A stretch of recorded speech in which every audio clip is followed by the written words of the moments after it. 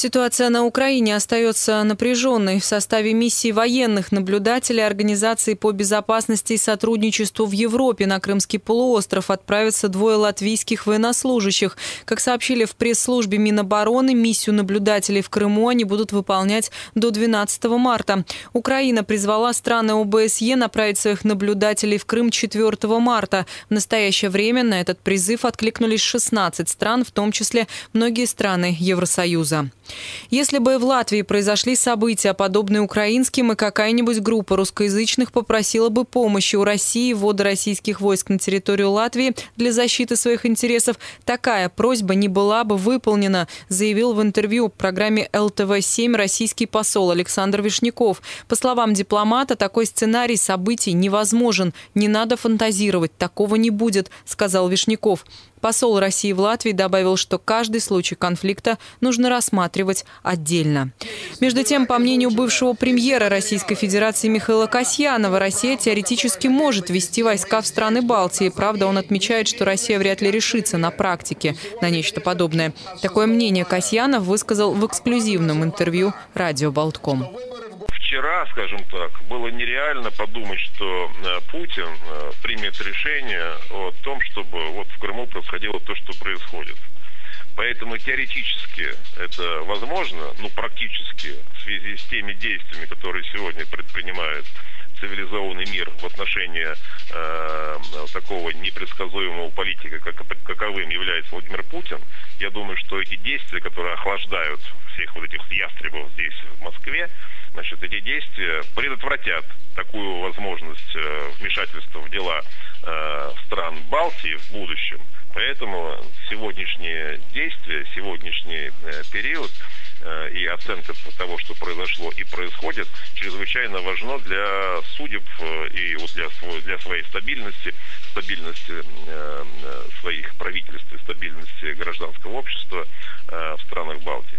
Тем временем партия «Согласия», которую национальные силы часто называют прокремлевской, вышла с официальным заявлением по поводу событий на Украине. Партия поддерживает территориальную целостность Украины и мирное урегулирование конфликта в этой стране. Мы категорически выступаем против любого применения насилия на Украине любой из сторон. Решение каких-либо проблем в современной Европе силой или военным путем недопустимо, так же как недопустимо вмешательство во внутренние дела суверенной Украины любой из сторон, отметил лидер партии Марариге Нил Ушаков.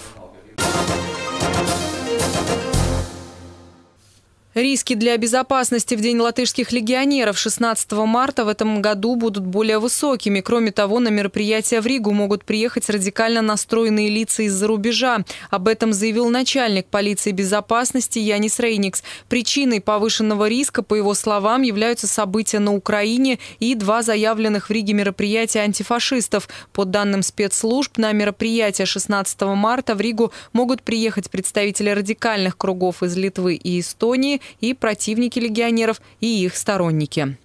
За безопасность при проведении в Риге мероприятия 16 марта отвечает госполиция, однако со стороны правительства не были инициированы никакие поправки к законам, чтобы обеспечить в этот день общественный порядок. Такое заявление сделал мэр Риги Нил Ушаков во время пресс-конференции в Сейме. Они запрещали три или четыре года подряд ну, судам... в результате по судам все было решено, и плюс в результате решением суда мы же еще были обязаны извиниться. Риски оценивает не Рижская дума, риски оценивает а, полиция безопасности. Какая будет позиция полиции безопасности в этом году, я не знаю. Поэтому вот получим письма раз. Будем смотреть. А, а, плюс, что хотелось бы отметить, что после событий прошлого года первое время была горячая дискуссия о том, что нужно менять законы, нужно менять соответствие нормы, каким образом разводить противоборствующие стороны. И даже были разговоры о том, что нужно четко прописать в законе использование техники, тех же самых, когда идет речь о звуке. Ничего не было сделано. Напомню, 16 марта антифашистское объединение с 10 утра до часа дня рассчитывает провести собрание, шествие и пикет. Кроме того, самоуправление получило три заявления на проведение 16 марта акций в память легионеров. Их подали Лимбургское отделение Даугавс Ванаги, общество Паспала, СМС и частное лицо Янис Десятников. Электричество частным потребителям до 31 декабря этого года будет подаваться по действующим регулируемым тарифам, говорится в аннотации к поправкам к закону о рынке электроэнергии, которые подала на рассмотрение в Сейм правящая коалиция. Как указали авторы документа, отсрочка открытия рынка электроэнергии для домашних хозяйств даст возможность уменьшить социальное напряжение, связанное с прогнозируемым ростом цен на электричество. Либерализация рынка отложена, чтобы население имело возможность шире ознакомиться с планируемым необходимыми изменениями, а правительство подготовить механизм социальной поддержки. Законопроект должен вступить в силу 1 апреля. Парламент рассмотрит его 6 марта. У Латвии есть шансы стать хоккейной столицей в 2018 году и принять чемпионат мира. Об этом в прямом эфире радио «Болтком» заявил глава Латвийской хоккейной федерации Киров Липман. Между тем, он без основания беспокоится по поводу обещаний правительства поддержать мировое первенство. По словам Липмана, он по опыту знает, что пообещать не значит сделать. У нас правительство очень гибкое такое. Значит, в нужный момент оно не отказывается, а когда необходимо – угу. тогда они в стороне. Такой у нас уже опыт есть. Наше правительство в этом плане хорошо уже обучено, как делать. Ну, может На быть, себя ответственность они редко берут. Может быть, есть шансы, что у нас что-то поменяется за это время? Или да, к этому вот времени надо уже принять быть, решение? Может, может быть, да, может А когда быть. окончательный срок вот этот, ну, принятия ну, вот решения? если, допустим, э, на следующей неделе будет презентация, да. я думаю, что э, мы презентацию можем преподнести очень на высоком уровне. У нас опыт уже есть, и я думаю, что мы можем конкурировать в презентации с э, датчанами. Ну, а потом у нас остается буквально пару месяцев. В мае месяце уже будет э, э, на Конгрессе голосование уже будет. Между тем, президент Международной Федерации хоккея Рене Фазель в беседе с латвийскими журналистами отметил, шансы принять мировое первенство 2018 года у Латвии весьма хорошие. Кстати, Латвия претендует в одиночку на проведение чемпионата мира, как это было в 2006 году. Но в основном конкурентом считается Дания, где еще ни разу не проводилось мировое хоккейное первенство в элитном дивизионе.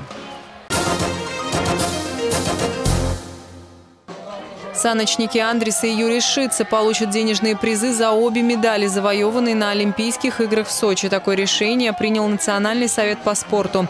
Как журналистам сообщил президент Латвийского олимпийского комитета Алдонс Врублевский, с братьям Шицем полагается премия за третье место в соревнованиях двоек и за третье место в эстафете. Две премии получит также экипаж бобслиста Оскара Мелбердеса за серебряную медаль в соревнованиях четверок и за пятое место в соревнованиях двоек.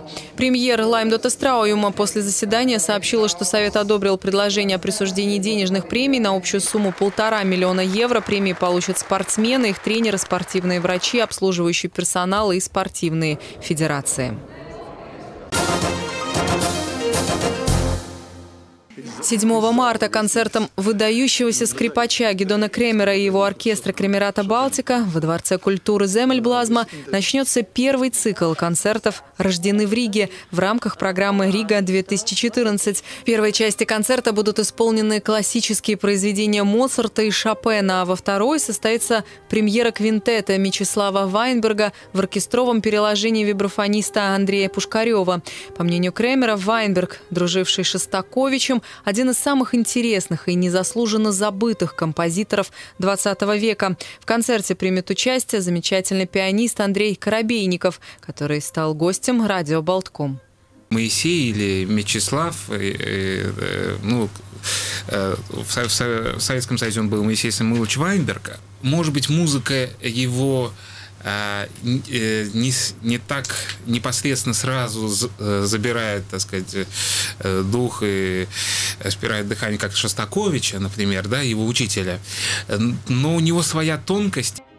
Руководитель Кремерата «Балтика» также сообщил, что в начале июля в Риге состоится традиционный фестиваль его оркестра. Один из концертов готовится совместно с музеем Жаниса Липки во время Второй мировой войны, спасшего от смерти 56 узников рижского гетто. И на нем будет исполнено специально написанное в честь Жаниса Липки и его жены Йоханне новое произведение композитора Артура Маскотса. Я о произведении еще ничего не могу э, толком сказать, потому что только получил ноты, но кажется, это будет танго. Так что совсем неожиданный поворот такой. По окончании пресс-конференции в эксклюзивном интервью Микс ТВ великий музыкант отметил, что он очень рад тому факту, что в состав Кремерата Балтика входят молодые музыканты. В последнее время пришло особенно много молодежи. Это всегда приятно, потому что молодежи горят глаза. Они еще не испорченные, у них нет никакой рутины. И это именно те качества Кремерата, которые я всегда Э, прививал всем, кто в ней появлялся. Скажите, вы, вы, вы никогда не преподавали, но как вы находите с молодежью язык? Я не преподавал, но сам себе школу создал. Напомню, цикл «Рождены в Риге» является одним из крупнейших музыкальных событий программы «Рига-2014». В его рамках в Риге выступят родившиеся в латвийской столице и заслужившие мировую славу музыканты. Кульминацией программы станет галоконцерт на открытом воздухе, который пройдет вечером 6 июля возле Латвийской национальной оперы. Это будет большой гала-концерт в сквере у оперного театра и э, концерт в открытом воздухе. И мы можем, представить, что практически весь город становится как большим концертным залом. И э, мы пригла приглашаем всех э, музыкантов, которые в, те, в тот день мог, может быть в Риге с концертами. Конечно, все это очень знаменитые музыканты, которые работают в многих странах мира. Донс Кремерс, э, будет, дирижер будет и Андрес Пога. Майя Ковалевska, Александр Антоненко, Миша Майскис. Это те уже, которые мы можем называть и которые, с которыми уже подписали договор. Билеты на концерт Крамерата Балтика во Дворце культуры Земельблазма 7 марта можно купить в кассах Билли Шупара и в интернете.